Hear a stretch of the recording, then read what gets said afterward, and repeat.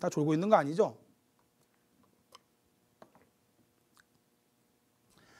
자, 아, 127분들 계시네요. 음.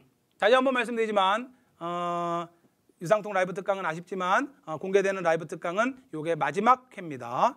아, 물론 또 할 수는 있어요. 그러나 계속 진행은 안 됩니다. 2주에 한 번씩 여러분들을 만나왔는데 벌써 이게 10번인가 그렇잖아요. 2주에 한 번씩이니까 벌써 첫 회 시작된 게는 며칠 전이란 이야기야. 그죠? 꽤 오래됐습니다. 자, 이제는 제가 강좌 제작이나 이런데 우리 수강하시고 계신 수강생분들에게 좀 더 집중해야 되기 때문에 어, 라이브 특강은 잠시 접고 나중에 또 필요하면 어, 미리 공지를 드리고 어, 진행할 거예요. 이제 이제 오프라인 특강도 좀 준비를 하고 있어요. 그래서 오프라인 여러분들 한번 오프라인에서 한번 만나야죠, 그죠? 만나서 우리 경쟁자들을 한번 한 강의실에서 이게 오프라인 특강을 제가 한번 요맘 때좀 해야 되는 이유가 오프라인 특강 딱 왔다 가시면 더 길게 가진 않는데 그래도 한 2, 3주는 효과가 가요. 2, 예, 3주는. 왜냐하면 맨날 집에서 혼자 공부하다가 막상 이제 오프라인 특강 와보시면 우리 유상통 오프라인 특강은 매진으로 유명 합니다. 공짜니까.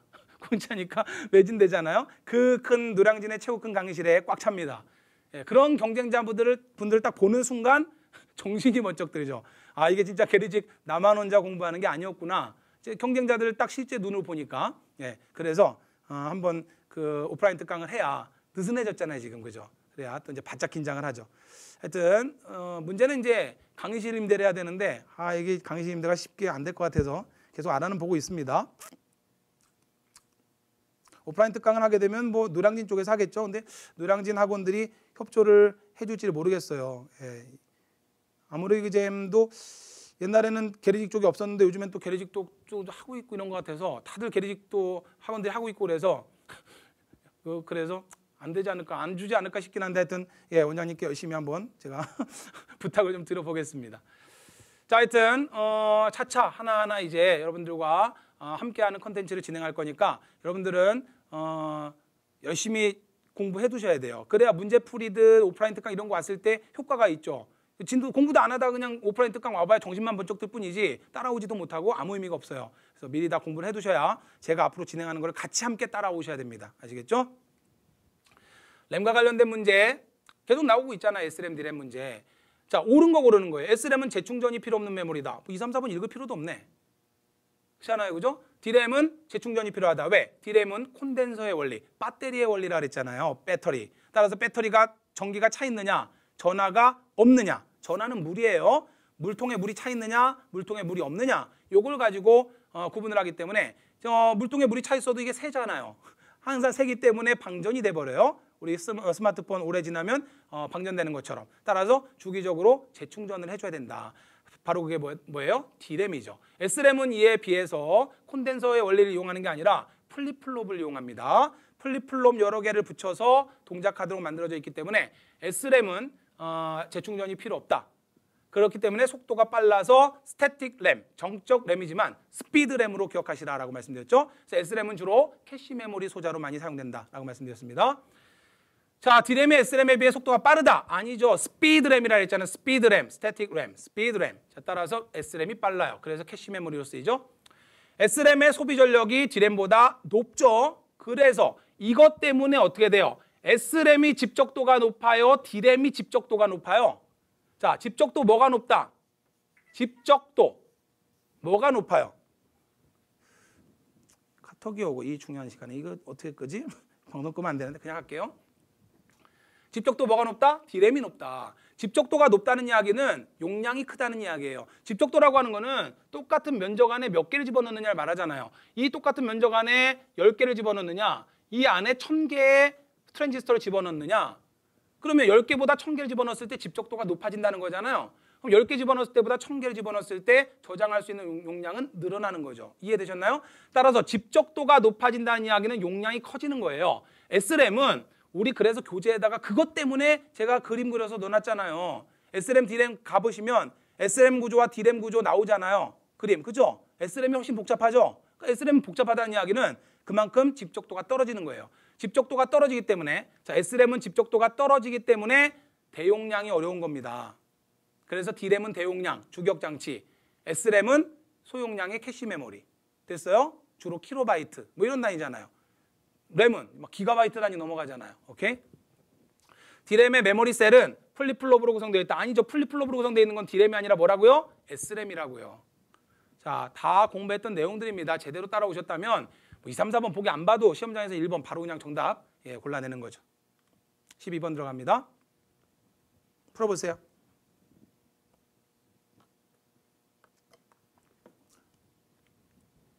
자, 한번 풀어보세요.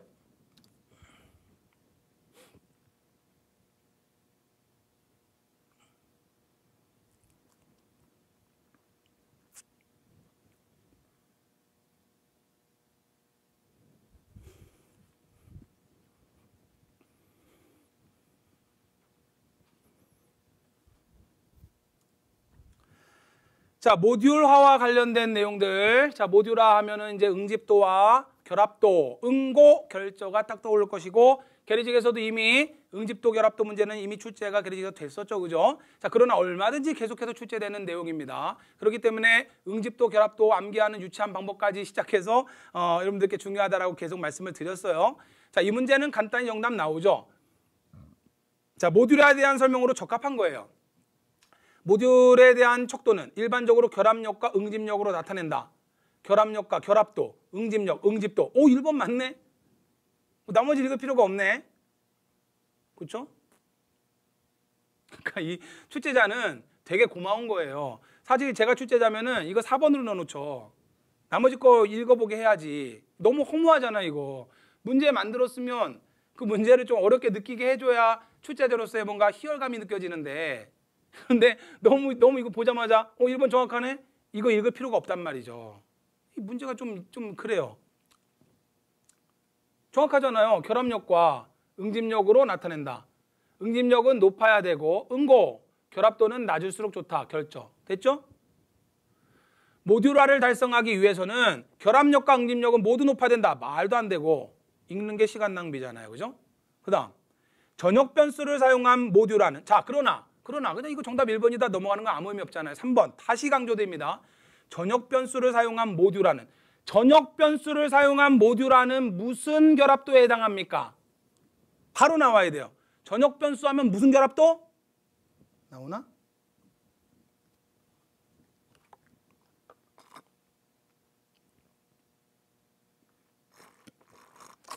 그렇죠. 공통결합도.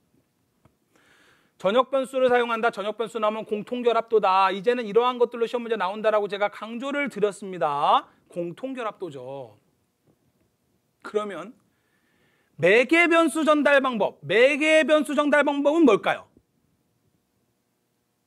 이 내용을 이해를 하셔야 된단 말이에요. 이 문제야 답은 1번 간단히 나오지만 전역 변수를 사용한 결합도는 공통 결합도를 말하는 거예요. 그러면 매개 변수 전달 방법보다 그러면 보세요. 매개 변수 전달 방법 우리 뭐 배웠어요 이거? 매개 변수라고 하는 게 뭐예요 매개 변수라고 하는 게? 인자 파라미터라고도 하잖아요. 메인 함수에서 메인 함수에서 특정 서브 함수를 호출합니다. 자 FIB라고 하는 함수가 있어요. 메인 함수입니다. 근데 이 메인 함수에서 자, 서브루틴으로 FIB 함수를 호출한단 말이죠. 이때 호출할 때 값을 넘겨줄 때 call by value 어떠한 어, 주소값을 넘겨줄 때 call by reference 개념을 배웠잖아요. 그럼 이제는 그런 걸 아니까 처음 우리가 유상통 정규이론 강의를 공부할 때 이런 이야기를 하면 전혀 못 알아듣죠. 지금 무슨 뭐 어? 결합도 응집도 이것도 지금 막 머리 아파 죽겠는데 무슨 매개변수는 도대체 뭐고 C언어까지 막 나오고 이러면 이걸 이해하시겠어요? 그러나 이제는 실력이 되셨잖아요. 자, 우리 메인 함수에서 FIB 함수를 호출합니다. 그러면서 예를 들어서 A 변수 값과 B 변수 값을 던져준단 말이에요. 이게 매개변수죠. 인자, 던져주는 값. 이해되셨어요? 자, 따라서 매개 변수 전달 방법이라고 하는 이거는 뭐냐? call by value를 말하는 거예요. value, 값. 값을 전달합니다. 이거 무슨 결합도일까요? 데이터 결합도죠. 데이터 결합도. 데이터 값을 얘한테 넘겨주는 거잖아요. 얘가 하나의 모듈이고 얘가 하나의 모듈이란 말이에요. 하나의 함수를 하나의 모듈로 생각하면 되는 거예요. 얘가 이 함수 호출하면서 값을 던져주죠. 야, 이 재료를 가지고 좀 더 처리해서 결과값을 리턴해줘. 던져주잖아요. 그러면 그 FIB 함수가 던져준 값을 받아서 그 값을 가지고 지지고 볶고 해서 나온 결과값을 리턴값으로 주잖아요. 데이터를 던져주면서 하나의 모듈이 다른 모듈의 모듈을 호출하면서 결합도라고 하는 것은 모듈과 모듈 간의 상관관계 아닙니까? 그죠? 하나의 모듈과 하나의 모듈의 상관관계인데 얘가 얘를 호출하면서 값을 데이터를 던져준단 말이죠.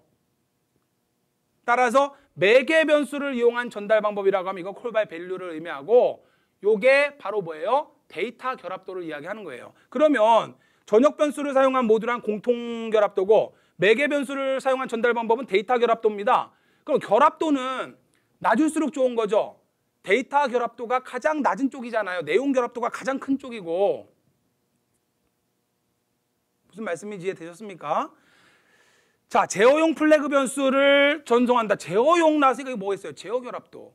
제어용 플래그 변수를 넘겨주는 겁니다. 그냥 단순한 값이 아니라 뭔가 제어하는 값, 제어값, 플래그 비트가 1이냐 0이냐에 따라서 이런 이야기예요. 제어 결합도라고 하는 거는 그러니까 맨날 의미도 모르면서 그냥 외워버린다니까. 자, 어. 예를 들어서 한 모듈이 있는데 이 한 모듈에서 넘겨받은 값이 A 값이 있다고 예를 들어봐. if A가 만약에 1인 경우와 0인 경우로 나누어서 1인 경우는 요 놈을 시작하고 else 그렇지 않은 경우 0인 경우 이렇게 시작해라. 프로그래밍이 이렇게 돼 있단 말이에요. 다른 모듈에서 A 값을 이 함, 모듈을 함수로 호출하면서 A 값을 넘겨줍니다. A 값으로 1을 넘겨줘요. 그러면 이 A 값이 얼마냐에 따라서 이 모듈 안에서 요 놈이 실행되느냐, 요 놈이 실행되느냐가 결정되죠. 이해되셨어요? 자, 이 모듈 안에서 A 값이 1인 경우와 0인 경우로 나누어서 이렇게 프로그래밍이 돼 있단 말이에요. 이 A 값이 1일 때는 얘를 실행해라.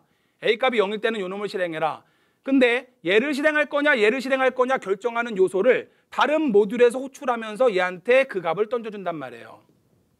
제어 결합도예요. 무슨 말씀인지 이해되셨나요? 바로 그런 이야기거든요. 제어를 위한 제어를 위한 플래그 매개 변수.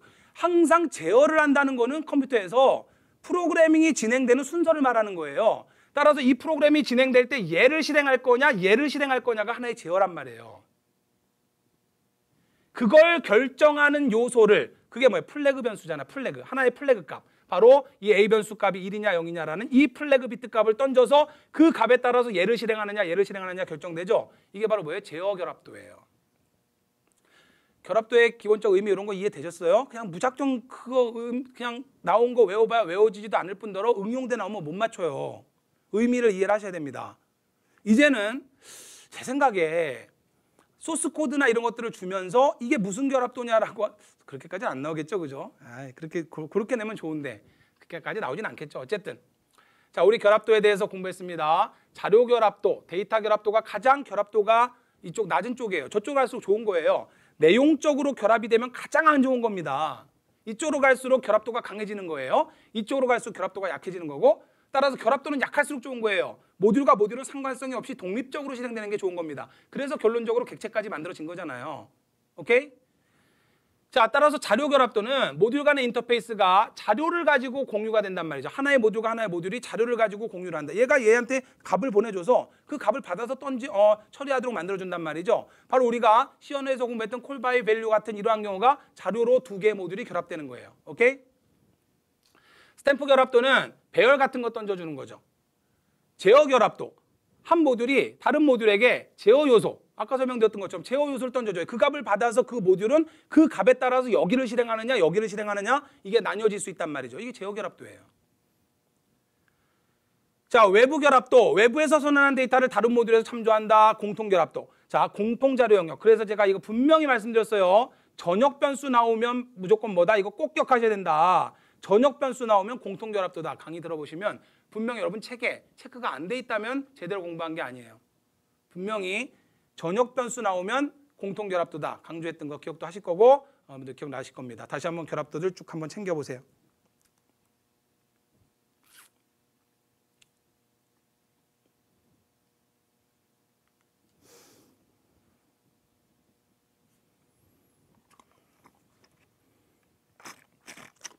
다중화. 자, FDM 주파수 분할 다중화죠. TDM time division. Frequency. Frequency라고 하면 뭐 주파수란 말이에요. 주파수 분할 다중화. TDM time division multiplexing. A는 액세스.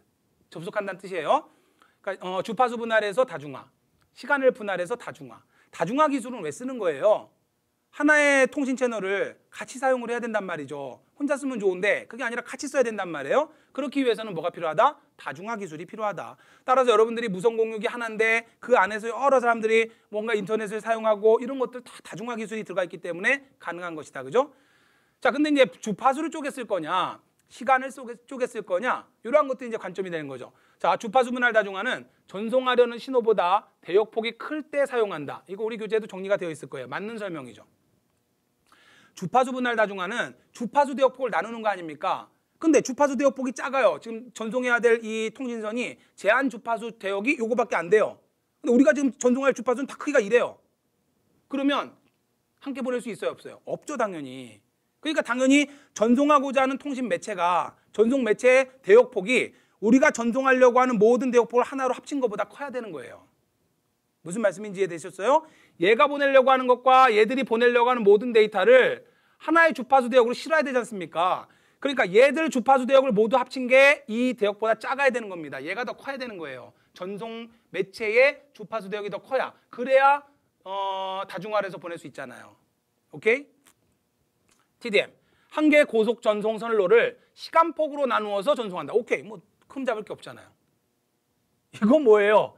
ATDMA가 뭘까 이거? 자, 빨리 답해 주세요. 유수를 알려 주세요. ATDMA가 뭘까요?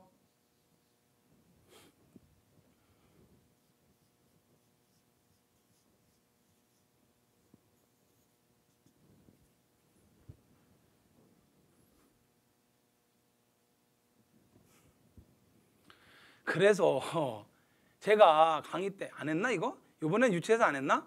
Synchronize 얘기 안 했어요? Synchronize? Synchronous? Synchronize가 왜 그, 어? 그, 이거 막 이렇게 발 이렇게, 이렇게 딱딱 맞춰서 하잖아요. 신기하지 않아요? 그죠? 그 러시아 선수들 특히 보면 되게 잘하잖아요. 그죠? 막 들어가서 어떻게 각도까지 딱 맞추고 나오는 것부터 해서 딱딱 맞추잖아요? 그래서 제가 synchronize 얘기하면서 synchronous, Synchronize 생각하시라. 딱딱 맞추는 거, 동기를 맞춘다. Synchronize, synchronize, 시분할 다중화. 동기식이죠. 얘가 동기식이에요. Asynchronize, asynchronize가 뭐예요? 비동기식이에요. Synchronize 제가 강의에서 말씀 안 드렸어요? 이거 설명할 때 하도 유치해서 이제 뺐을지도 몰라. 처음 들어보세요? 자, synchronous. Synchronous time division multiplexing이에요. Synchronize. 딱딱 synchronize 그 수영 그거 딱딱 맞춰서 하잖아요. 그게 각도가 틀리거나 시간적으로 뭐, 뭐 다르게 튀어나온다거나 이러면 안 되는 거잖아요. 똑같이 음악에 맞춰서 그게 평가 기준 아닙니까? 그죠? 자, 따라서 동기식이에요. 딱딱 맞춰지는 거죠. 얘는 비동기식이에요. 뭐가 좋아요? 동기식이 고속이니까 동기식이 좋아요? 아니라 그랬잖아요. 그래서 이게 시험 문제 항상 나오는데 이게 컴퓨터 일반에서는 출제된 적이 별로 없어요. 여러분들 우리 그 어, 유상통 문제 보시면 문제가 없어요. 출제된 문제가. 그러나 출제될 수 있기 때문에 이 파트를 넣어놨지 않습니까? 제가 정말 데이터 통신은 이거 스스로를 자랑하면 안 되는데 시험에 나올 수 있는 것만 제가 정말 잘 뽑아놨어요. 어떻게 기특하게 잘 뽑아놨나 몰라. 이 파트가 기출 문제가 별로 없어요. 그렇다는 이야기는 출제가 별로 안 됐거든요. 이 분야가. 근데 이 분야가 출제될 수 있기 때문에 요거는 빼지 않고 넣는다라고 해서 교재에 들어가 있어요. 우리 교재에. 그래서 그 뒤에 섹션에 수록된 문제 보면 기출 문제가 아니라 그냥 문제들이 들어가 있을 거예요. 근데 나왔잖아요. 그러면서 제가 뭐라고 강조드렸습니까? 똥꼬. 똥, 아이 또제 강의 안 들으신 분들은 저 뭔 소리 할 텐데. 똥, 동, 동 기식이 고속이잖아요. 동기식이 고속. 그러니까 동기식이 대부분 컴퓨터에서는 뭔가 타이밍. 항상 컴퓨터에서 동기라고 이야기하는 것은 타이밍을 말하는 거예요. 타이밍. 그러면 타이밍을 딱딱 맞추어서 뭔가 어, 한다는 건 다 좋은 건데 근데 유독 이 다중화에서는 동기식이 안 좋은 거다. 이거 주의하시라. 그래서 비동기식이 바로 뭐라 했어요? 통계적 시분할 다중화기라고도 하고 그 다음에 지능형 시분할 다중화기라고도 한다. 비동기식이 얘가 좋은 거다. 비동기적인 게 좋은 거다. 왜? 보낼 놈한테만 그때그때 상황에 따라서 time slice를 할당한다 했잖아요. 안 보내는 놈한테 안 주고. 얘는 무조건 보내든 안 보내든 똑같은 time slice를 그냥 줘버리다 보니까 중간중간에 낭비되는 그러한 구간들이 생겨서 얘는 비효율적이다. 얘가 좋은 거다. 기억나세요? 자, 비동기식 시분할 다중화입니다. 전송할 정보가 존재하는 단말기에만 time slot을 할당한다. 오케이, 맞네. 만약에 얘가 시험 문제에 이렇게 나왔다면 틀린 보기죠. 이게 나왔잖아요. 그럼 생각을 해보세요. 출제 교수님들 이 문제 보고 어 다중화 방식이 출제된 적이 없었는데 아 이거 괜찮네. 딱 보다 보니까 아 요 용어 잘 모를 것 같아. 어느 게 동기식인지 자 ATDMA하고 그 다음에 STDMA하고 아 요거 잘 모를 것 같다. 요 문제를 그럼 응용해서 더 어렵게 내놓으면서 요거를 요렇게만 딱 바꿔서 문제를 출제할 수 있단 말이죠. 그러면 틀린 설명이죠. 무슨 말씀인지 이해되셨습니까? 이제는 나올 수 있어요. 항상 말씀드렸지만 조만간 언젠가 언젠가 미래형 언젠가 나와요. 언젠가 언젠가가 언제가 될지 모르겠지만 따라서 이 문제의 정답은 어, 옳지 않은 거 고르는 거네요. 그럼 옳지 않은 거 뭐예요? 어, 큰 매체 사용한다. 일정한 시간표 나누어서 전송할 정보가 존재하는 단말기에만 time slot을 설정한다. 어, 4번이 틀렸네. 정보의 압축이나 또는 CDMA 에러 복구가 어렵다.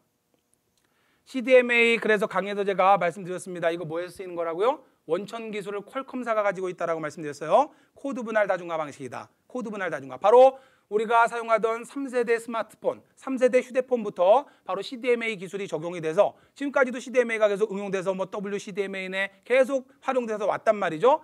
코드 분할 다중화 방식. 이건 뭐예요? 자, 주파수 분할 다중화와 시분할 다중화의 혼합 방식이다. 물론 정확히 주파수 분할 다중화의 개념을 그대로 가져오진 않아요. 왜냐하면 주파수 분할 다중화는 주파수를 다 나누어 쓰잖아요. 근데 그건 아니란 말이에요. 똑같은 동일한 주파수 대역을 쓰는데 그것을 같이 쓸 수 있다는 개념이 있기 때문에 주파수 분할 다중화의 그 개념을 포함하고 있어요. 시분할 다중화의 개념도 포함하고 있어요. 잠깐 내 설명을 드릴게요. 정보의 압축, 에러 복구, 코드 분할 다중화는 제가 그래서 뭐라고 말씀드렸어요. 일반적으로 주파수 분할 다중화에 해당하는 이 방식은 주파수, 아날로그 통신에서 주로 쓰인단 말이에요. 그래서 뭐라고 말씀드렸습니까? FM, 라디오, TV. 주파수 다르게 해서 음성 같은 거 보내는 이런 아날로그 신호 보내는 게 요게 주파수 분할 다중화를 주로 쓰고 시분할 다중화나 코드 분할 다중화는 주로 디지털 데이터를 전송할 때 많이 사용한다. 쪼개야 된다는 이야기는 아날로그 신호를 쪼개는 것보다 디지털이 쪼개기가 좋단 말이에요. 숫자로 딱딱 끊어지니까. 이해되셨죠? 따라서 항상 디지털 통신은 압축을 수행한다거나 또는 암호화를 어, 에러를 제어한다거나 이러한 것들이 가능하단 말이에요. 근데 어렵다라고 했기 때문에 4번이 틀린 거예요. 정답은 4번이죠. 코드 분할 다중화 방식은 그래서 여러분에게 꼭 뭐를 기억하라 했어요. 대역폭 확산 기술을 이용한다. 스펙트럼 확산이다라고 이야기를 했죠. 그죠? 일반적으로 우리가 어, 주파수 분할 다중화다 그러면 이렇게 표현을 하죠. 그래서 자 주파수를 서로 다르게 해서 주파수 살짝 띄워서 이 사이를 쓰지 않는다라 했어요. 이걸 뭐라 했어요? Guard band를 둔다라고 말씀드렸죠. 그죠? 가드밴드를 두는 것은 왜 둔다? 간섭을 방지하기 위해서. 그래서 옛날에 라디오를 막 돌릴 때 삐삐삐삐 돌릴 때 한참 안 나오다가 라디오 전파 하나 잡히고 또 계속 안 나오다가 라, 어, 전파 하나 잡히고 이렇게 되잖아요. 저, 사용하지 않는 주파수 대역들이 있기 때문에 이게 이제 낭비가 일어나 버리죠. 이해되셨나요? 실제 우리는 이렇게 그림을 그리지만 주파수라고 하는 게 사실은 뭐예요? 사실은 이런 거예요. 주파수가 자 이런 주파수가 있고 이런 주파수가 있고 이런 주파수가 있어요. 이런 주파수가 있어요. 그러면 얘는 0이 너는 이 주파수 써. 철수는 이거 써. 좀 더 촘촘한 거 이거는 말자가 쓰고 자 이거는 유수가 써. 이런 식으로 주는 거예요. 실제 주파수 분할 다중화라고 하는 거는 그림으로 이렇게 줬지만 주파수라고 하는 게 뭐예요? 신호가 하나 이렇게 있을 때 주파수는 이게 주파수입니다. 이건 진폭이고 그래서 그냥 강의를 설명드릴 때는 주파수 대역을 다르게 해서 아날로그 신호를 이렇게 전송한다라고 말씀을 드리지만 실질적으로 주파수를 어, 분할해서 사용한다는 이야기는 88.7MHz, 103.6MHz, 120.7MHz 이런 식으로 주파수가 높아진다는 이야기는 얘는 주파수가 낮은 거예요. 주기가 낮은 거죠. 얘가 주파수가 높은 거예요. 얘는 주파수가 더 높은 거예요. 이해되셨나요? 따라서 얘를 보내나 얘를 보내나 얘를 보내나 동일하게 신호가 날아간다 손 치더라도 얘가 날라오는 이 신호랑 이렇게 날라오는 신호랑 이렇게 날라오는 신호랑 이거 구분될 수 있다는 거예요. 무슨 말씀인지 이해되셨습니까? 이게 바로 주파수를 다르게 해서 신호를 보내면 그 주파수로 맞추면 그 주파수만 받아들일 수 있다는 거예요. 이게 주파수 분할 다중화입니다. 근데 이게 이렇게 좀 와닿지 않으니까 그림으로는 이렇게 표현을 하는 거죠. 주파수를 다르게 해서 근데 주파수가 다르다는 게 이렇게 그림으로 이게 다른 게 아니란 말이에요. 주파수가 다르다는 이야기는 이건 낮은 주파수인 거고 이건 높은 주파수인 겁니다. 이해되셨어요? 얘는 영희가 쓰고 얘는 MBC가 쓰고 얘는 KBS가 쓰고 됐나요? 오케이. 아, 시분할 다중화는 이렇게 되는 거죠. 시간을 쪼개서. 그래서 동기식이냐 비동기식이냐 다시 말씀드리지만 비동기식이 좋은 겁니다. 비동기식이 통계적 시분할 다중화기라고 이야기를 해요. 자, 우리 교재에 있는 거 그대로 가져온 거예요. 이게 바로 코드 분할 다중화라고 했죠. 그래서 대역 확산 기술을 이용한다라고 이야기를 했습니다. 보시면 주파수 대역 전체를 사용하는데 이 동일한 주파수 대역 안에서 네모가 지금 전송되고 있고 동그라미가 전송되고 있어요. 같은 주파수 대역인데 동일한 주파수를 나도 쓰고 영희도 쓰고 똑같이 씁니다. 그러니까 주파수 분할 다중화하고 조금 개념은 달라요. 주파수 분할 다중화는 주파수 자체를 다르게 하겠다는 건데 그러나 코드 분할 다중화에서 그렇진 않아요. 주파수 대역 전역을 사용할 수 있어요. 근데 어떻게 이 신호가 구분되느냐? 그래서 제가 강의에서 뭘 말씀드렸습니까? 아, 이 전송되는 값을 확산 기술을 이용해서 원래 전송되는 신호 A가 있다면 여기에 확산 신호 하나를 만들어서 이걸 가지고 신호를 확산해서 특이한 신호를 만들어내요. 쉽게, 생각하면 그냥 암호화 시킨다고 생각하시면 돼요. 그러면 제가 강의에서 말씀드렸잖아요. 파티에 어, 전 세계적 어, 어떠한 그 지도자들이 모인 파티가 있어요. 막 서로 막 떠들고 있습니다. 공통 언어가 없어요. 다 자기 나라 말로 떠들고 있단 말이죠. 그러면 우리 인간의 음성 대역은 전부 똑, 똑같단 말이죠. 3,400Hz예요, 약. 3,400Hz 정도의 음성 대역 폭입니다. 300에서 3,400. 이 무슨 소리예요? 우리 인간의 이 성대는 아무리 저음으로 내려가도 300번은 울려요. 아무리 저음으로 내려가도 이 성대가 일주일에 300번 이하로 울리진 못해요. 그래서 인간의 음성 주파수가 300에서 3,400Hz예요. 이해되었습니까? 그러니까 이 지금 안에서 파티장 안에서 떠들고 있는 모든 사람들은 300에서 3,400Hz 안에서 지금 이 신호가 어, 진동이 일어나고 있단 말이죠. 막 떠들고들 있는데 저기선가 누군가가 한국말로 좀 이야기를 하고 있어. 난 그것만 들려 지금. 그러면 그 많은 말들이 지금 전파가 막 왔다 갔다 하고 있는데 그 사람 것만 나한테 들리잖아요. 똑같은 주파수를 사용하고 있음에도 불구하고 그렇잖아요. 한국말이라고 하는 이걸로. 그게 무슨 이야기인지 아시겠어요? 얘한테 가는 신호, 얘한테 가는 신호 이런 모든 게 암호화돼서 다 다른 신호값이 가버리면 구분을 해낼 수 있다는 거 동일한 주파수 안에서 신호가 가도 이걸 대역 확산 기술이라 그래요. 이것을 또다시 시간으로 채널로 나누어서 전송한다라고 해서 주파수 분할과 시분할 다중화를 혼합한 형태다라고 이야기를 하는 거죠. 그러나 어, 요즘 나온 이제 어, 그 OFDM 기술, 이러한 기술이 정확하게 그러한 기술력이지 사실 조금 논란의 소지는 있어요. 그렇지만 어쨌든 일반적으로 코드 분할 다중화는 주파수 분할 다중화와 시분할 다중화 기술을 혼합해서 사용한다. 그렇게 이야기되는 거죠. 이 안에 지금 똑같은 우리 주파수를 사용해서 여러분들 지금 핸드폰으로 통화를 하고 있으면 혼선되지 않잖아요. 그게 똑같은 주파수대를 쓰고 있지만 나한테 오는 신호 내가 받아들이는 거고 저쪽으로 오는 신호는 저한테 받아들이는 거예요. 막 지금 뭐 어? 방글라데시어로 떠들고 있고 우간다어로 떠들고 있지만 그건 나한테 안 들어와요. 한국말로 떠들고 있는 저 사람 이야기만 나한테 들어온단 말이죠. 바로 그 원리예요. 그것이 바로 스펙트럼 확산 기술. 그래서 어, 그렇게 이야기를 합니다. 대역 확산 기술이다. 그래서 그거 나오면 CDMA라고 설명했던 거 기억하실지 모르겠어요. 출제 또 될 수 있습니다. 꼭 기억해 두세요. 제가 나온다 그랬죠? 빅데이터. 자, 어, 3V라 그랬어요. 3V, 3V. verify가 왜 나옵니까? 규모, 볼륨. 어마어마한 양의 데이터라고 말씀드렸죠? 엄청나게 빠른 속도로 데이터가 쏟아져 나옵니다. 자, 다양성을 가지고 다양한 데이터, 텍스트도 있고, 영상이 될 수도 있고, 소리가 될 수도 있고, 이미지가 될 수도 있고, 다양한 형태의 데이터성을 갖는다. 자, 그래서 우리 빅데이터의 특성을 세 가지를 이야기할 때 이렇게 이야기를 하죠. 됐나요? 따라서 정답 1번. 제가 분명히 빅데이터 3V 출제되니까 꼭 기억하시라고 중요하다고 계속 강조를 드렸을 겁니다. 틀렸다는 것은 말도 안 되죠. 유수를 무시한 거지 뭐. 나온다고 그랬는데 안 해오면. 그럼 유수는 기분 좋잖아 이런 거 적중되고 그러면. 근데 그 맞춰내야 제가 기분이 좋은 거죠. 15번 들어갑니다.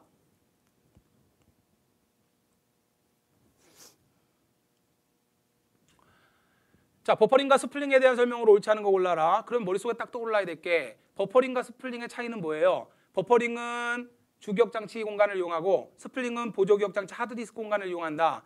버퍼링은 주로 단일 작업에 사용되는 거고 스풀링은 보조 기억 장치 용량 크잖아요. 다중 작업이 가능하다. 이런 정도만 기억하고 있으면 분명히 그 안에 핵심 내용이 있을 거란 말이죠. 디, 스풀링은 디스크 일부를 버퍼처럼 사용한다. 디스크 일부 사용한다. 맞고 버퍼링은 한 레코드를 읽어서 CPU가 그것에 대한 작업을 시작한과 동시에 입출력 장치가 필요한 레코드를 미리 읽어서 버퍼에 저장해 둔다. 어, 뭐 되게 복잡한 말 같지만 뭐 맞는 것 같아. 스풀링은 어떤 작업의 입출력과 다른 작업의 계산을 병행 처리한다. 그래서 병행 처리란 말도 들어본 것 같아. 버퍼링은 보조 기억 장치. 오케이. 뭐 그냥 볼 거 없이 보조 기억 장치가 아니라 버퍼링이니까 주기억 장치. 핵심이잖아, 핵심.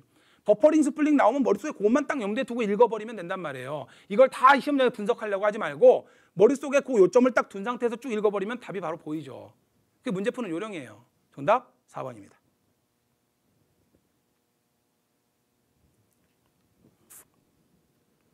(130분) 정도 보고 계시는군요. 자, 다시 한번 말씀드리지만 자, 공개적으로 진행되는 유상통 라이브 특강은 이번이 마지막이니까 2주 뒤에 또 오셔서 왜 라이브 특강 안 하냐 이 유수야 막 이러지 마세요. 예, 어, 저는 열심히 이제 또 새로운 컨텐츠 만들고 우리 수강생분들과 열심히 소통을 좀 할 겁니다. 답변 작업 드리는 게 말이죠. 어, 하루에 몇 시간 작업합니다. 제가 계속부터 작업을 해도 동영상 답변 제가 다 답변 100% 제가 다 답변을 드려요. 가끔 그런 경우도 있어요. 어, 다른 뭐 예를 들어서 그러면 아시다시피 뭐 한국사나 뭐 국어나 영어나 이러한 경우에 다 조교들이 있잖아요. 조교들이 답변을 달죠. 어, 그렇게 해주면 안 되겠느냐라는 이제 어, 의견도 있었는데 이전에 잠깐 제가 그렇게 해봤어요. 양심 고 양심 고백, 양심 고백. 이전에 몇 년 전에 몇 년 전에 어, 이 이쪽 그 강사님을 섭외를 해서 좀 답변 작업을 좀 어, 도와달라라고 해서 진행을 해봤는데 이게 안 되는 거야 이게 이게 안 되는 게 잘못된 답변을 막 하는 경우도 있고 이게 이렇게 어긋나 버리면 혼동을 더 줘버리고 막 이래서 도저히 안 되겠다. 그래서 다시 제가 또 하기 시작해서 지금 저희가 답변 드리고 있는 거는 100% 제가 다 답변을 드리고 있어요. 그걸 여러분 믿으시라고 다또 음성 답변을 하고 있잖아요. 설마 제 목소리랑 똑같은 사람을 고용해서 막 하겠습니까? 그죠? 그게 정말 쉽지 않은 작업이에요. 그렇지만 컴퓨터 일반은 그렇지 않으면 여러분들 강의 들어보셔도 아시겠지만 어느 강의가 한 번에 완벽하게 다 커미를 끝내줍니까? 안 되잖아요. 궁금한 것들. 근데 그걸 글로 아무리 설명해도 무슨 양인지 모르기 때문에 그래서 제가 동영상 답변을 하고 있는 거고 이거는 정말 자랑이 아니라 항상 제가 어, 말씀드렸지만 대한민국 어디서도 따라하지 못하고 있는 거예요. 저는 어차피 컴퓨터 하는 사람이니까 동영상 답변도 빠르게 합니다만 대부분 강사님들이 그런 거에 익숙하지도 않을 뿐더러 시도했다가도 시도했다가도 하루 이틀 만에 그만둡니다. 이걸 어떻게 하냐 이거를. 그렇지만 커밋에서 워낙 필요하기 때문에 가급적이면 동영상으로 제가 여러분들께 설명을 드리려고 노력을 하고 있는 거거든요. 그런 작업들을 해야 되기 때문에 아, 이 라이브 특강을 계속 진행하기가 조금 어려워졌어요. 그래서 나중에 또 한번 진행될 때는 미리 공지를 드리고 언젠가 한 번, 한두 번 정도는 만나겠죠. 자, 그러나 다시 말씀드리지만 어, 저희 강의를 수강하고 계신 수강생분들은 곧 제 이제 콘텐츠 제작 작업이 끝나면 이제 시험 전에 계속 라이브 특강으로 여러분들과 좀 더 빠르게 소통을 하려고 노력을 할 거니까 조금만 기다려 주시고요. 자, 따라서 마지막 라이브 특강이니까 또 2주 뒤에 오지 마세요. 자, 계속 가겠습니다. 16번. 레지스터와 그 사용 목적이 올바르지 않은 것을 골라라.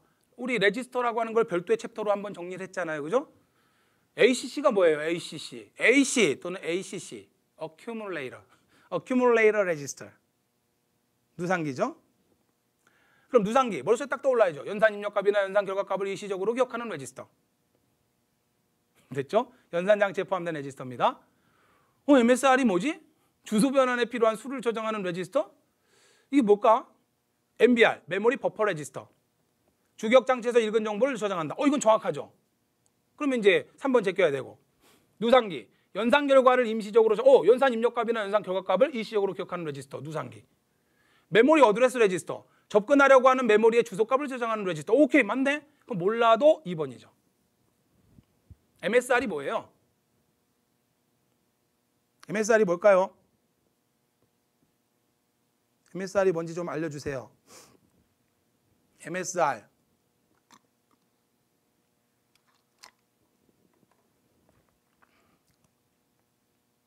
처음 들어보죠. 그러나 대충 찍어낼 수도 없을까요? 듣보자. 뭐 말은 만들기 나름이에요. 메이저 State 레지스터. Status 레지스터.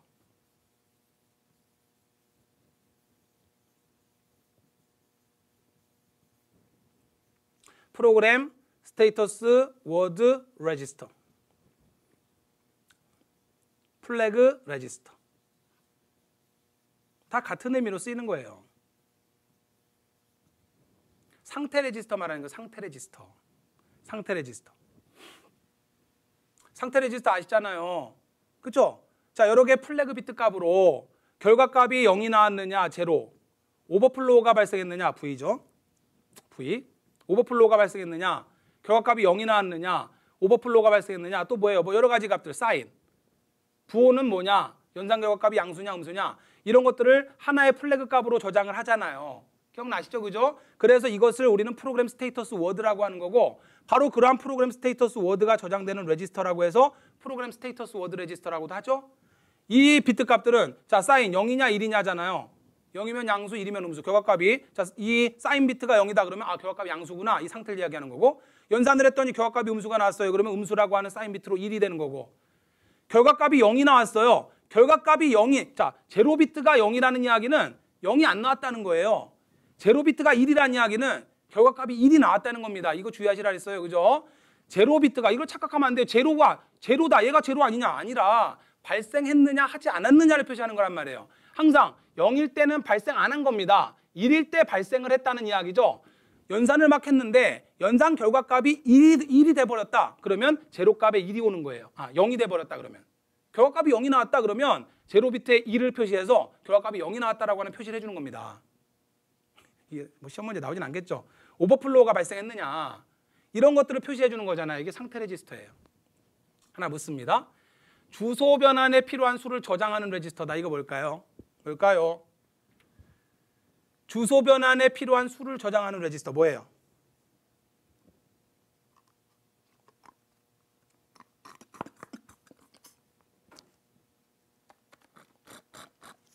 혼자 먹어서 죄송합니다. instruction 레지스터? 아닙니다. instruction 레지스터 아니에요. instruction 레지스터는 명령 레지스터잖아요. 명령어를 저장하는 레지스터인데 주소 변환에 필요한 수를 저장하는 레지스터가 맞아요? 자, 이거 어떤 교재나 자료를 보니까 이런 레지스터는 없다라고 하던데 아니에요. 있어요. 인덱스 레지스터입니다. 인덱스 레지스터. 처음 듣는데요? 여러분들 교재 보세요. 우리 유상통 교재의 flag 레지스터. 요게 바로 프로그램 status word, status 레지스터. 아까 얘기했죠. 거기다 메이저를 붙여서 이제 M을 붙여서 MSR이라고 했던 거고 프로그램 status word를 저장한다 해서 프로그램 status word 레지스터라고 그랬죠. 두 번째, 베이스 레지스터라는 게 있고 인덱스 레지스터라는 게 있는데 중요하지는 않다라고 했어요. 자, 그러나 인덱스 레지스터에 보세요. 명령어 실행 과정에서 명령어가 지정한 명령어가 지정한 번지를 수정하기 위한 레지스터라고 우리 교재에 정의가 딱 돼 있잖아요. 그 제가 말씀드리잖아요. 우리 유상통 교재를 달달달 외, 어, 그 외울 때까지 반복해서 보셔야 된다고요. 이 안에 내용들 다 들어가 있다고요. 이러한 레지스터는 없다가 아니라 인덱스 레지스터, 인덱스 레지스터. 베이스 레지스터하고 인덱스 레지스터가 뭐에 쓰이는 거냐면 시험에 나오진 않아요. 그러나 그냥 설명만 드릴게요. 베이스 레지스터가 뭐예요? 베이스. 어, 뭐야 이거? 지워졌다 왜 나와요? 자, 베이스 레지스터가 뭐예요? 베이스 레지스터. 베이스라고 하는 게 뭐예요? 기지란 뜻이 있잖아요. 기지. 전진 기지. 베이스. 그죠? 기본이에요. 기본. 기준. 얘는 기준값이에요. 기준값. 프로그램이 load가 됐어요. 자, 보세요. 메모리가 있어요. 자, 프로그램이 할당을 받아서 메모리로 load가 됐어요. 그래서 할당을 받아 여기로 할당을 받았습니다. 여기로 프로그램이 들어왔어요. 그러면 자, 얘가 100번지부터 시작되는 공간으로 프로그램이 들어왔습니다. 그러면 100번지부터 쭉 프로그램 실행돼야 되잖아요. 시작되는 이 100번지 기준값이 어디로 들어가요? 베이스 레지스터로 들어가는 거예요. 시작 기준값이 시작 기준값. 이 베이스 레지스터 값이 이제 이 프로그램이 실행되면 어디로 가버립니까? 베이스 레지스터로 받은 이 값이 프로그램 카운터 레지스터로 처음에 보내지는 거예요. 그럼 프로그램 카운터 레지스터는 100이라는 값을 받아서 계속 증가하면서 밑으로 내려가면서 실행을 하는 거죠. 분기가 일어나기 전까지. 인덱스 레지스터는 뭐냐면 대표적으로 배열 같은 거 표현할 때 베이스 레지스터가 기본값이라면 얘는 변이값이에요, 변이값. 우리가 배열을 표현할 때 A라는 배열의 5번지 값 이렇게 표현하잖아요.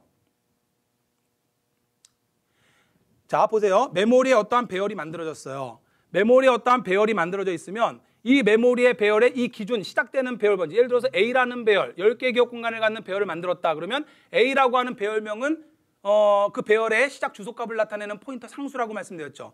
그러면 예를 들어서 얘가 실제 메모리에서 100번지부터 이 배열이 시작된단 말이에요. 그럼 이 100번지라고 하는 기준값, 기준값 자체가 어디로 가버려요? 베이스 레지스터로 가는 거예요.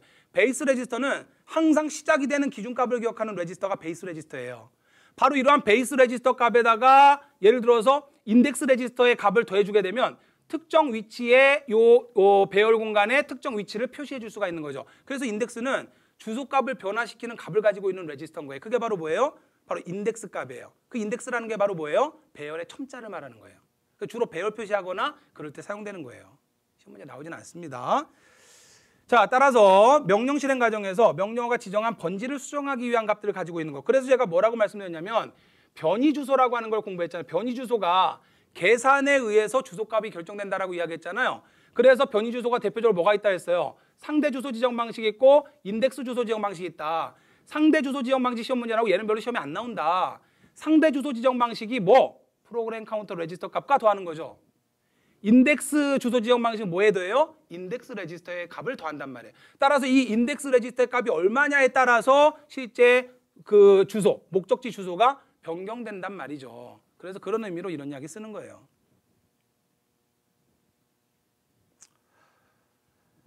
자, 가겠습니다. 17번. IP의 주요 임무가 아닌 거. TCP/IP 너무너무 중요하다라고 말씀드렸고, 자 호스트의 주소 지정. 어 주소 지정 뭔가 맞는 것 같아. 어 패킷 전달이 뭐지? 어, 모르겠어. 전송 경로의 논리적 관리. 어 경로 관리? 경로. 경로와 관련 있지 않나? 전송 패킷의 흐름 제어. 어 흐름 제어도 많이 들어본 것 같은데 어, 정답이 없네. 이렇게 돼버리면 안 된단 말이에요. 몇 번이에요? 몇 번이에요?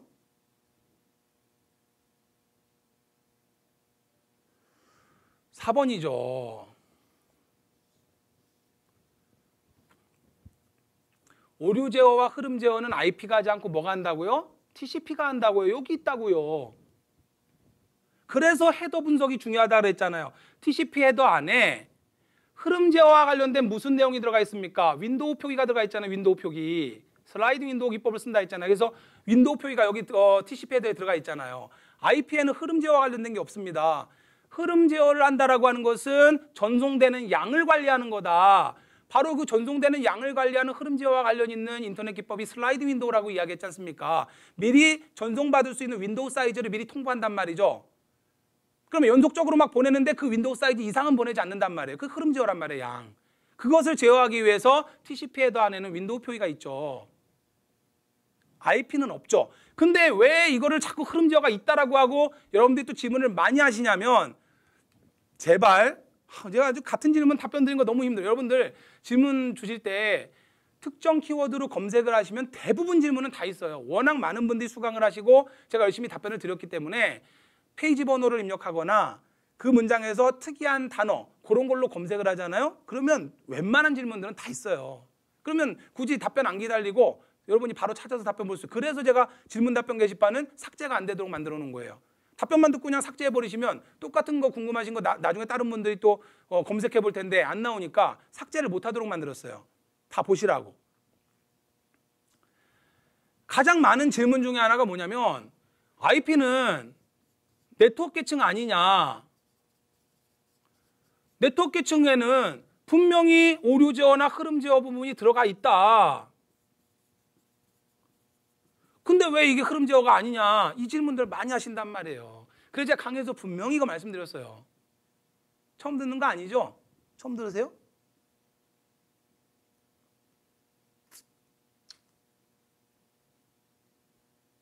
처음 듣는 거 아니죠? 제가 뭐라고 말씀드렸어요? OSI 7계층하고 OSI 7 레이어하고 TCP/IP 4계층을 같이 놓고 보면 안 된다. 물론 우리는 대응 관계로 TCP/IP 4계층이 OSI 7계층으로 어떤 것과 대응된다라고 하는 대응 구조를 배우는 거지만 얘는 7개 계층으로 나누어서 별도 정리를 한 거고 얘는 기존에 사용하던 TCP/IP는 그냥 OSI 7계층으로 따로 개편하지 않고 그냥 그대로 4계층 구조를 쓴단 말이에요. 여기서는 네트워크 계층에서 오류 제어, 흐름 제어를 저, 어, 이야기하고 전송 계층에서도 오류 제어, 흐름 제어를 이야기하고 혼잡 제어까지 이야기를 하죠. 그런데 TCP/IP에서는 어차피 전송 계층에 TCP가 있고 그 다음에 IP 네트워크 계층이 있잖아 인터넷 계층에 요게 구분되어 있고 얘들이 중복되게 굳이 흐름 제어나 오류 제어를 넣을 필요가 없지 않느냐. 그래서 TCP에 오류 제어, 흐름 제어를 넣어버렸고 IP에서는 그거를 빼고 순수하게 경로, 찾아가는 경로라든지 이러한 것들을 제어하기 위해서 IP는 이거를 구분을 했다. TCP IP는. 그렇기 때문에 네트워크 계층에서 이러한 이야기가 나온다 할지라도 이게 IP에 적용되는 건 아니다. 라고 설명을 드렸습니다. 처음 들어보신다면 아니에요. 분명히 설명드렸어요. 우리 교재 보세요. 그래서 제가 유상통 교재가 중요하다. 자꾸 교, 교재 무슨 책 판매 제가 무슨 책팔이도 아니고 근데 말씀드리잖아요. 자, 우리 IP 교재 그대로 캡처해 왔습니다. IP 내용. 자, 쭉 있으면 뭐가 없다 했어요? 순서 검사하지 않는다. 이거 계속 시험 문제 나오고 있죠? 이거 어디서 해요? TCP에서 하잖아요. 왜? TCP에 넘버가 있잖아, 넘버. 패킷 넘버. 그 다음 흐름 제어 오류 복구 기능 있, 있어 없어요? 없다라고 분명 명시해 놨잖아. 이거 설명드리면서 설명 드렸단 말이에요. 그래서 이걸 혼동 많이 하신다고. 네트워크 계층에 있는데 왜 IP가 네트워크 계층에는 분명 이거 정의되어 있는데 왜 아니냐? TCP IP와 OSI 칠계층을 같이 놓고 보면 안 된다라고 분명히 설명을 드렸어요. 그래서 아예 명시가 돼 있잖아요. 흐름 제어 오류 복구 기능은 없다. 이거 시험 문제 잘 나오는데 여러분들 하도 틀리시니까 아예 명시를 해놨잖아요. 아예 이런 기능은 없다.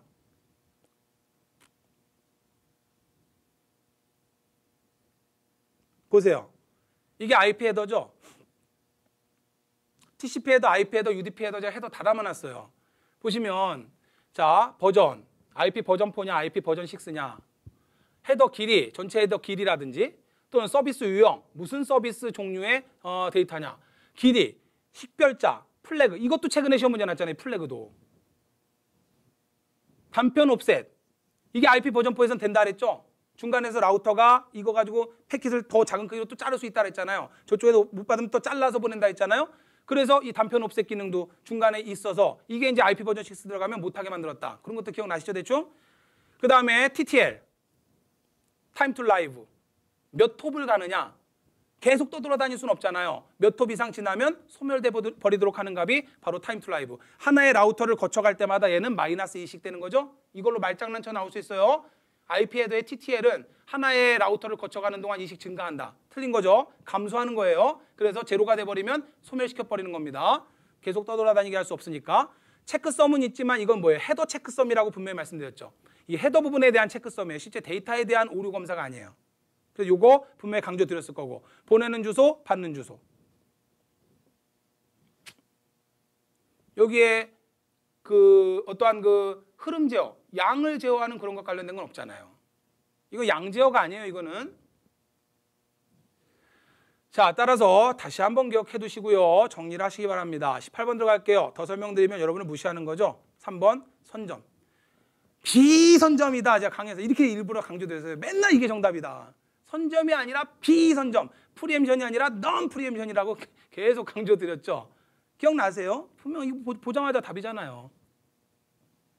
19번. 다음에 설명하는 방법에 해당하는 게 뭐냐? 자, 이제 이 문제. 어, 이것도 처음 보는데요? 천만의 말씀이에요.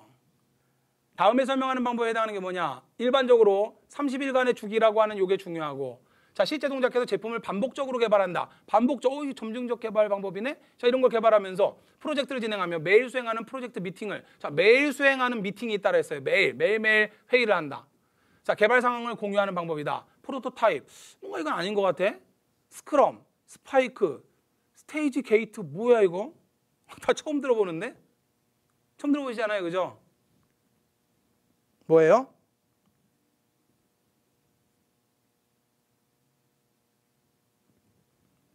scrum이죠. 처음 보신다는 분들. 우리 유상통 교재에서 agile 방법론이 계속 출제가 되고 있다라고 제가 말씀드렸잖아요. 최근에는 소프트웨어 공학이 조금 변화가 일어나서 agile 기법이 계속 출제가 되고 있다. 그러면 제가 뭐라고 말씀드렸어요? agile 기법의 종류가 아닌 거 골라라 나올 수 있다라고 하면서 이 부분 대표적인 게 extreme programming XP가 가장 대표적이라 항상 얘가 시험 문제 출제가 되는 거죠. 그래서 얘를 중점 정리를 했고 이거 이외에도 스크럼, 특징 주도 개발이라고 하는 FDD, 그 다음에 크리스털 패밀리 이러한 것들이 있다라고 설명을 드렸습니다. 여기서 정리된 거 보세요. 스크럼 보세요. 프로젝트를 30일마다 동작 가능한 제품을 제공하는 자, 스프린트로 분리를 한다. 팀은 매일 15분 정도의 미팅을 갖는다. 시험 문제 나온 그대로 제가 이렇게 딱 요점 정리를 해드렸잖아요. 보세요. 문제. 30일 주기를 기반으로 30일간의 주기를 기반으로 동작하는 제품을 반복적으로 개발하면서 매일 수행하는 프로젝트 미팅을 통하여 그대로잖아요. 팀은 매일 15분 정도 미팅 갖는다는 거, 30일마다 동작 가능한 제품 제공한다. 이거 보셨으면 스크럼. 그래서 이 우리 정규 이론서를 무시하시면 안 된단 말이에요. 우리 정규 이론서를. 이전에도 왜 그 기출 문제 풀 때 2018년도 기출 문제에 뭐예요 그거? 그거 제가 없는 줄 알았는데 아, 기능 점수 펑션 포인트 기능 점수 없는 줄 알았는데 우리 유상도 나도 없는 줄 알았는데 근데 넣어놨었잖아요. 그래서 있었잖아요. 그렇죠? 그래서 어, 기출문제집의 문제들을 분석해 보면서 계속 기본 이론서의 내용들을 연동해 가면서 기본 이론서의 내용들을 여러분이 완벽하게 여러분 것으로 만드는 작업으로 계속 반복 학습을 하셔야 돼요. 괜히 쓸데없는 문제 풀겠다고 막 이저 쓸데없는 문제들 뭐 모의고사 문제 사다가 풀고 이거 아무 의미 없다니까요. 그래서 제가 계속 강조드리는 거예요. 안에 다 있잖아요. 물론 범위를 벗어난 문제가 나오는 경우도 있죠. 그건 어찌할 수 없는 거고 그거는. 원래 스크럼이라고 하는 건 뭐냐면 이게 스크럼 대형이라고 하는 거예요. 럭비. 럭비에서 두 가지 대형이 있다 그럽니다. 일렬로 쭉 서는 라인 대형이 있고 이 스크럼 대형은 뭐 반칙을 했다거나 또는 뭐 어떨 때 보셨죠 많이 그 중간에 경기가 중지되면 심판 가운데 오고 막 밀잖아요 여기서 그러다가 이제 심판이 공 딱 떨어뜨리면 이제 잡아갖고 막 어, 땅, 땅 따먹게 하는 거잖아요 럭비가 이게 스크럼 대형이에요 여기서 따온 말이에요 여기서 밀리면 밀리면 죽는 거지 뭐 그죠? 모두 촘촘하게 그냥 우리 팀이 하나로 묶여서 어떻게든 어깨로 밀어야 된단 말이에요. 그래서 영역 확보를 해야 공이 떨어지면 내 걸로 잡을 거 아니에요. 얘들이 열심히 밀었어. 얘들이 밀렸어. 그럼 얘들이 이만큼 올 거 아닙니까? 공이 여기로 떨어지면 이거 내 공이 되는 거란 말이에요. 공을 차지하기 위해서 서로 땅 따먹기 하는 거거든요. 이게 럭비가 무슨 말씀인지 되었어요?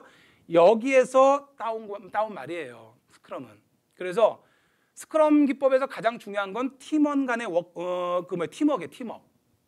그리고 가장 중요한 건 뭐냐면 sprint라고 아까 이야기했죠? 주기에 주기. 보통 뭐 무조건 30일 주기다 그건 아니에요. 회의를 해가지고 우리가 어느 정도 개발하면서 하나하나 시제품들을 어, 만들어낼 수 있느냐 이러한 것들을 회의를 해서 그 주기별로 점검을 하고 계속 점검하고 오류사항이 있는지 이런 것도 체크하고 그리고 매일매일 만나서 길게 하면 안 돼요. 15분 정도만 standing입니다. standing 회의를 하면서 서로 무슨 일 했는지 자기가 한 일을 발표하고 뭐 뭐뭐 해야 될 거를 빠르게 이야기하고 15분 땡 끝내고 어, 또 개발하고 30일 주기로 그래서 하나의 팀원이 자주자주 소통하면서 똘똘 뭉쳐서 소프트웨어를 개발해 나가야 된다는 의미로 scrum이라는 의미를 용어로 붙인 겁니다.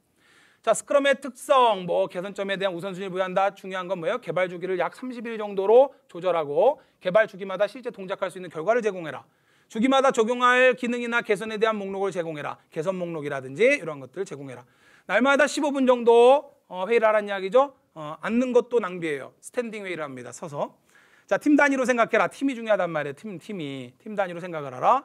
원활, 원활한 의사소통 어쩌고 다 애자의 기법이잖아요. 다 어떻게 보면. 20번입니다. 마지막.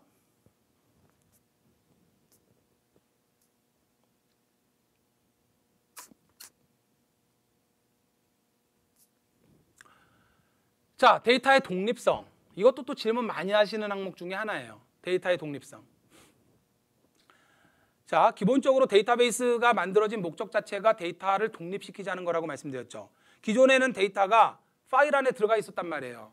엑셀에서 작업을 해보세요. 워드 프로세서로 작업을 해보세요. 파워포인트로 작업을 해보세요. 이거 다 데이터들인데 이 데이터들이 그냥 파일이라고 하는 거 안에 갇혀버려요.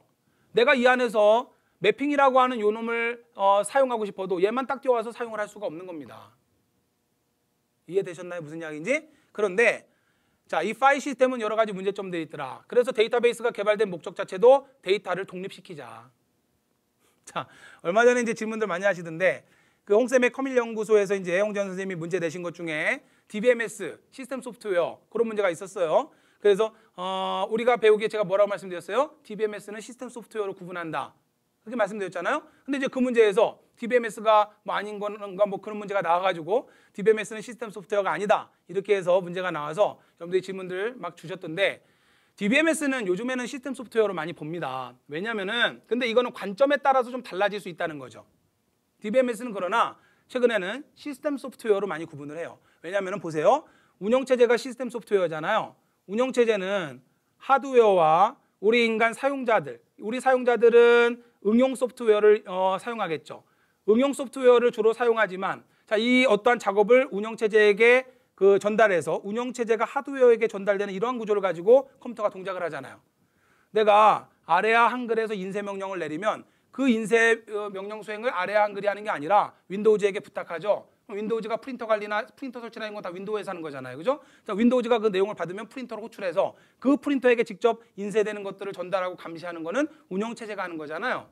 이것과 똑같이 우리 사용자들은 응용 프로그램을 사용하고 이 응용 프로그램들은 DBMS를 통해서 데이터를 완전히 독립시켜서 하드웨어에 저장되어 있는 데이터들 이 데이터에 접근하는 것을 응용 프로그램이 직접 하는 게 아니라 DBMS를 거쳐서 하는 걸로 이렇게 계층도를 보기 때문에 응용 소프트웨어를 따로 보는 거고 응용 시스템 그리고 DBMS 시스템을 어, 시스템 소프트웨어다라고 이렇게 구분을 하는 거예요. 최근에는 이렇게 구분을 많이 해요. 그런데 이거는 논란의 대상은 될 수 있다. 관점에 따라 좀 다르게 볼 수 있다라고 제가 분명히 강해서 말씀드렸어요.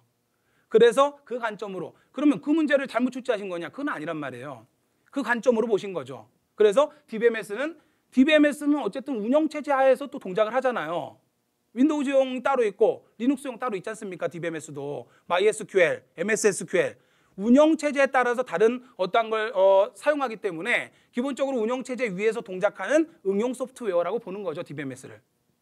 그래서 이거는 출제될 수가 없어요, 이런 문제는. 왜냐하면 출제자가 이거 잘못 출제했다가 시스템 소프트웨어가 아닌 것은 계리직에서 시험 문제 나왔죠. 그럴 때는 명확한 게 나온단 말이에요. 명확한 게. 논란되지 않는 거. 뭐 엑셀 갖다 스프레드시트 집어넣는다든지. 시스템 소프트웨어가 아닌 거 골라라. 스프레드시트. 명확한 거. 논란되지 않는 거. 괜히 거기에다 DBMS 넣어버리면 이거를 시스템 소프트웨어로 구분하는 사람들도 있고 학자에 따라서 응용 소프트웨어다라고 구분하는 경우가 있고 양면을 가지고 있단 말이에요. 과거 이 논란하고 똑같은 거예요. 어, 예- 예전에 윈, Windows 3.1이 등장했을 때 Windows 3.1이 등장했을 때 Windows 3.1 쓰기 전에는 도스를 썼단 말이에요. Windows 3.1 쓰신 분들은 기억을 하시는지 모르겠지만 Windows 3.1은 컴퓨터를 부팅할 때 Window 3.1이 뜨지 않습니다. 디스켓을 넣어야 돼요. 윈, 도스로 부팅을 해야 돼요. 도스로 부팅을 해서 도스에서 C 드라이브 프롬프트가 이렇게 떠오고 커서가 깜빡깜빡합니다. 부팅은 도스로 끝나는 거예요. 그리고 여기에서 WIN 치고 엔터키를 딱 때리면 이제 어, Windows가 가동이 됩니다. 그래서 이때 Windows 3.1이 운영 체제냐 아니냐 가지고 논란이 있었어요. 왜냐면은 어, 그러니까 좀 Windows Microsoft를 조금 뭔가 좀 안 좋게 보는 입장에서 뭐라고 했냐면 비꼰 거죠. Windows는 도스상에서 돌아가는 응용 소프트웨어다. 운영 체제가 아니다. 이렇게 비꽜단 말이에요. 그러다가 이제 Windows 95가 출시되면서 이제 Window 95에서는 도스를 안으로 품어버렸죠. 자, 부팅 자체가 Window 95에서 바로 됩니다. 그러나 Window 3.1은 바로 Window 3.1 안 떠요. 도스로 먼저 부팅하고 WIN 치고 엔터키를 쳐야 Windows가 어, 뜹니다. 그래서 도스에서 돌아가는 응용 소프트웨어다 이렇게 이야기했단 말이에요. 똑같은 거예요 지금 이게. DBMS가 응용 소프트웨어냐 시스템 소프트웨어냐 이게 보는 관점에 따라 다르단 말이에요. 그러나 통상적으로 DBMS는 시스템 소프트웨어적 특성에 가깝다. 그래서 그렇게 본단 말이죠. 근데 그거 가지고 문제 출제해 버리면 완전히 이게 그 뭐예요? 예. 논란이 돼 버릴 수 있기 때문에 출제자 입장에서 논란 만들 수가 없잖아요. 그렇게는 출제 안 됩니다. 따라서 걱정하지 않으셔도 돼요. 자, 그러한 질문이 최근에 많이 있어서 어, 설명을 드렸던 거고요. 자, 데이터의 독립성. 데이터의 독립성이라고 하면 이제 논리적 독립성과 물리적 독립성이 있는데 우리가 일반적으로 데이터베이스의 구조를 이야기할 때 3단계 스키마 구조를 이야기하잖아요. 사용자는 여기 있고 사용자에게 보여지는 스키마를 이제 우리는 외부 스키마 구조다라고 이야기하고 개념 스키마 구조가 있고 그 다음에 어, 물리 스키마 개념이 있죠. 이렇게 3단계 스키마 구조를 갖잖아요. 그죠? 자, 이때 이제 외부 스키마라고 하는 이것을 실제로 구현해 준 게 데이터베이스에서 뭐라 했어요? view라 그랬죠, view. 마음대로 필요한 거 뽑아서 보여주는 겁니다. 가상 테이블이죠. 실제 그런 데이터베이스가 존재하는 게 아니에요. 그러나 뽑아서 가상적으로 보여준단 말이죠. 여러분이 문제은행에서 view로 검색을 합니다. 그러면 view라고 하는 단어들만 쭉 들어간 것만 쫙 뽑아서 딱 이쁘게 보여주잖아요. 그럼 view만 따로 이렇게 막 어, 들어간 문제들만 딱 따로 저장돼 있어요? 아니거든요. 이미 어, 저장되어 있는 수만 개의 문제 중에서 view라고 하는 단어가 들어간 데이터들을 뽑아서 이쁘게 여러분들한테 보여주고 있단 말이죠. 그래서 가상 테이블이라고 이야기하는 거죠. 자, 따라서 사용자가 똑같은 데이터베이스인데 사용자가 어떠한 요구를 하느냐에 따라서 다르게 보여질 수 있는 구조를 만들어 줄 수 있단 말이죠. 얼마든지 view로. 자, create view 명령을 이용해서 create view, select 뭐뭐뭐뭐 A 테이블에서 뭐 갖고 오고 B 테이블에서 뭐 가져오고 필요한 것들 뽑아 와서 필요한 것만 볼 수 있게 만들어 줄 수 있어요, view로. 얼마든지 기존에 저장된 데이터에서 실제 저장된 데이터베이스에서 필요한 것만 뽑아서 그때그때마다 필요한 거 뽑아서 view를 만들어서 보여주면 사용자 입장에서는 쟤가 뭐가 저장되어 있는지 몰라도 나는 이걸 보고 있단 말이죠. 어, 우리 에듀온에 문제은행에 뭐가 어떤 모양 저장되는지 몰라도 나는 그냥 필요한 문제 문제은행에서 검색하면 그 문제들만 딱 난 본단 말이죠. 그러니까 보는 사람마다 다 다른 구조를 볼 수 있잖아요. 외부 스키마는 얼마든지 무한개로 존재할 수 있는 거예요. 오케이? 자, 따라서 어, 이게 바로 외부 view입니다. 그리고 전체적인 데이터베이스의 구조. 개념 스키마죠? 자, 내부적으로 실제 물리적으로 저장되어 있는 구조, 물리적 스키마입니다. 그러면 일반적으로 이 3단계 계층 구조를 이야기하는데 독립성을 이야기할 때는 뭐라 그랬어요? 하위 레벨의 스키마 구조를 바꿔도 상위 레벨의 스키마는 영향을 받지 않는다. 얘를 바꿔도 얘들은 상관없다 이 소리예요. 얘를 바꿔도 얘는 상관없다 이 소리예요. 이걸로 바꿔서 문제 나온다 했잖아요. 상위 스키마 구조가 바뀌어도 하위 스키마 구조가 영향받지 않는다라고 나오면 틀린 거다. 하위 스키마 구조가 변경되어도 상위 스키마는 영향을 받지 않는다. 말을 바꾸면 상위 스키마를 신경 쓰지 않고 하위 스키마 구조를 바꿀 수 있다는 게 바로 뭐예요? 독립성입니다. 이해됐어요? 다시요 말장난 친단 말이에요. 상위 스키마를 어, 신경 쓰지 않고 하위 스키마 구조를 바꿀 수, 바꿔도 된다고요. 독립적이기 때문에. 얘 신경 안 쓰고 얘 구조 바꿀 수 있다고요. 외부 view 다시 만들면 되는 거지. view는 얼마든지 다시 만들면 되잖아요. 따라서 이 구조 바꾼 다음에 view 따로 뭐 필요하면 다시 만들어서 view 쓰면 된단 말이죠. 얘 신경 안 써도 된단 말이에요. 얘들 신경 안 쓰고 얘 바뀌어도 된다는 이야기입니다. 자, 쭉 읽어보시면 자, 옳은 거 고르라고 하는 이야기인데 3번이 옳은 거죠. 자, 논리적 데이터 독립성은 외부 스키마 최상위 구조잖아요. 외부 스키마에 영향을 주지 않고 논리적 구조를 변경할 수 있다. 오케이. 외부 스키마, 이 상위 구조에 영향을 주지 않고 개념 스키마, 논리적 구조, 개념 스키마적 논리적 구조를 바꿀 수 있다는 거잖아요. 됐어요? 따라서 이게 맞는 설명이죠. 자, 물리적 데이터 독립성이 제공될 때 외부 스키마가 내부 스키마의 영향을 받아요? 아니잖아요. 얘가 얘 영향을 받아요? 받지 않는다죠. 논리적 데이터 독립성은 개념 스키마와 내부 스키마 사이에 논리적 데이터 독립성은 내부 스키마가 아니라 요, 요 사이죠. 요게 논리적 데이터 독립성이죠.